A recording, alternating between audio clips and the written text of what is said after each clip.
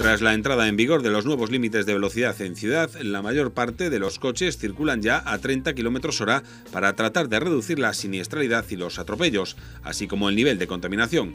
Esta nueva normativa tiene sus ventajas y sus peros, especialmente mecánicos y de mantenimiento, ya que en los vehículos existen ciertos problemas asociados a circular a una baja velocidad.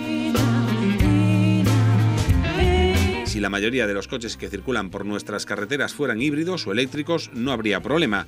Conducir a baja velocidad en este tipo de automóviles supone utilizar el modo eléctrico la mayor parte del tiempo, y ya de por sí esta motorización implica reducir consumos y contaminación. Pero lo cierto es que a día de hoy el parque móvil en su mayoría en España está compuesto por vehículos con motor de combustión interna, propulsores que no están diseñados para rodar constantemente a baja velocidad. Muchos modelos, al circular a 30 km hora, nos obligan a conducir en primera velocidad, una práctica peligrosa para la mecánica y que poco beneficio tiene en lo que a consumo se refiere.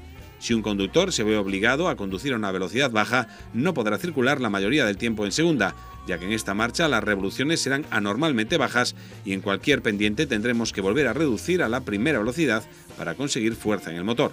Si esta práctica se alarga en el tiempo, las consecuencias serán catastróficas para diferentes piezas de la mecánica. La conducción a tirones provoca, por ejemplo, que los tacos del motor absorban más movimientos de los debidos, obligándonos a cambiar los silent blocks de forma habitual. Los rodamientos también se verán comprometidos, al igual que todo lo que tenga que ver con la refrigeración.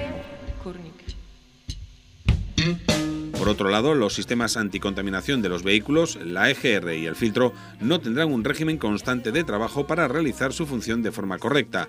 El embrague también podría verse afectado.